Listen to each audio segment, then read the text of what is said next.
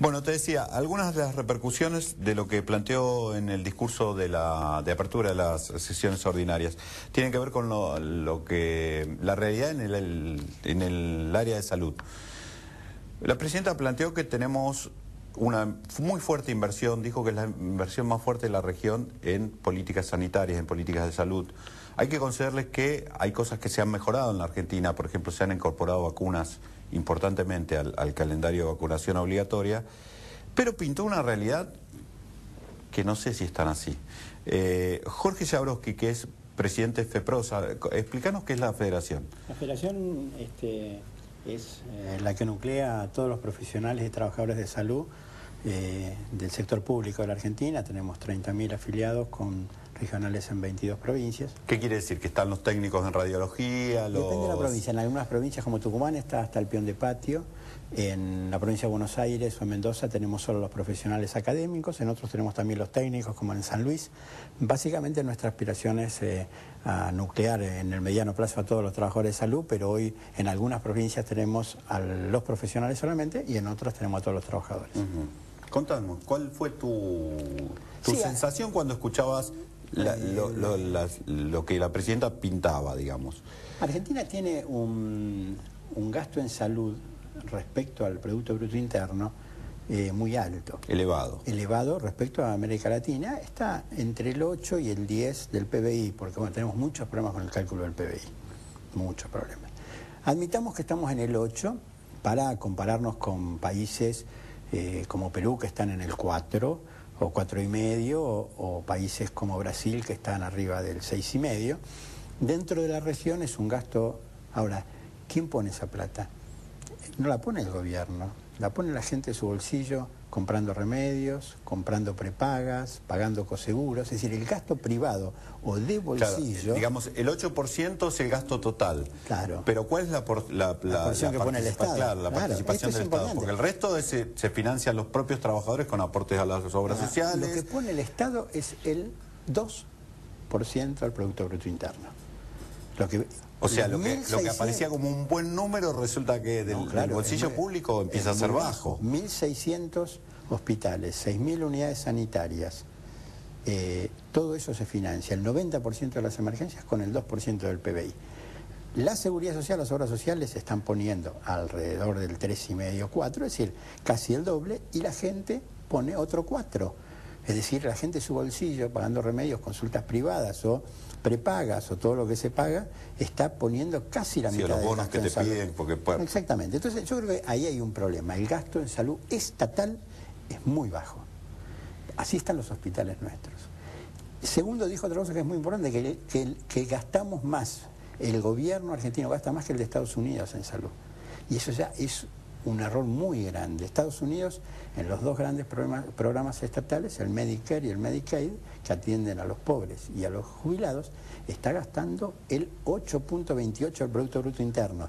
Y el gasto estatal, el gasto total en Estados Unidos es astronómico, es el 18. Por eso esta reforma de salud, porque ya no hay cómo aguantarlo, 10 la pone la gente en su bolsillo con seguros privados y 8 pone. Ahora, nosotros estamos en el 2, del 2 al 8 hay una diferencia. Entonces, realmente decir que estamos arriba de Estados Unidos y que es el más alto de la región cuando lo pone la gente en su bolsillo y los hospitales están como están, es por lo menos una mirada desviada que nosotros tratamos de, salir y salimos con ejemplos.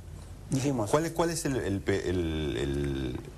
lo que vos definirías como el peor problema que existe hoy en, los hospitales.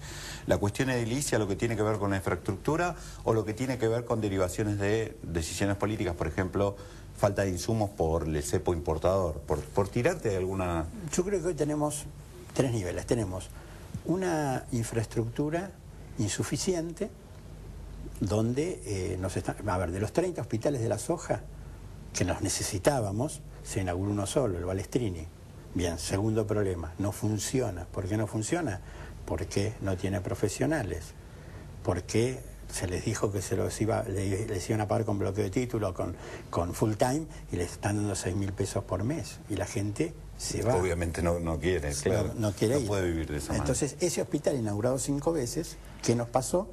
Que hoy no tiene partos, no tiene cirugía y actúa como una gran salita, teniendo una, buena infraestructura.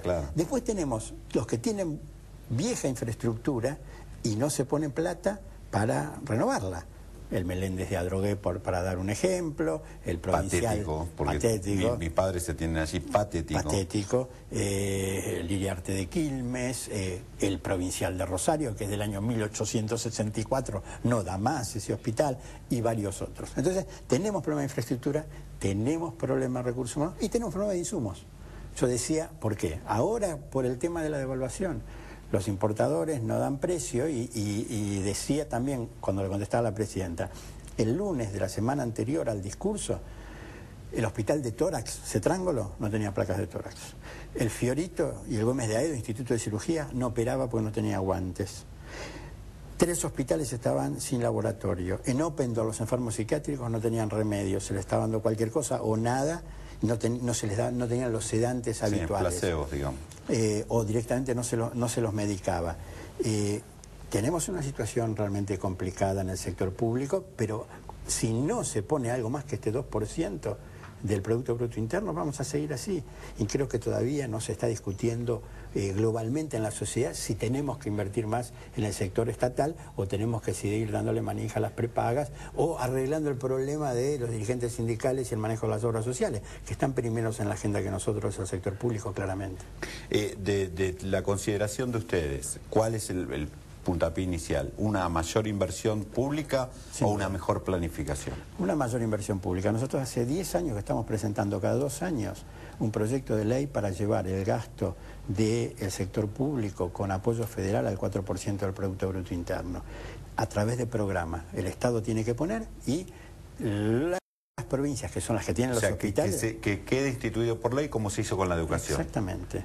Un 4% del PBI y ahí infraestructura, personal, personal full time, eh, insumos, eh, ampliación de las y redes. en eso que vos decís, digo, para terminar, porque me tengo que ir, eh, en eso que vos decís que hay acuerdo, porque vos lo decís y no, creo que ningún argentino te diga lo contrario, te diga, bueno, saquémosle guita tal y pongámosla ahí.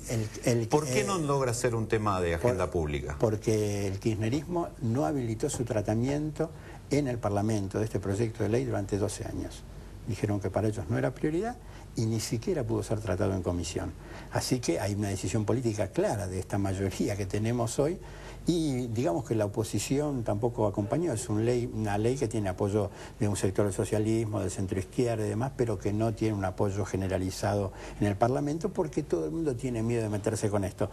Necesitamos abrir ese debate y necesitamos que el oficialismo descongele su veto sobre la discusión de los presupuestos públicos de salud.